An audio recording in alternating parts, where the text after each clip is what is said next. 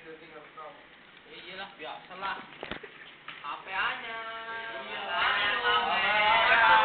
HP aja. Inilah wajah para maho yang dieksploitasi ke Arab Saudi.